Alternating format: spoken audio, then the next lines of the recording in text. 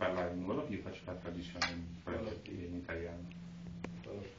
In oro, ok, vai. léegi ñoom lu Mi ha chiesto se avete delle domande.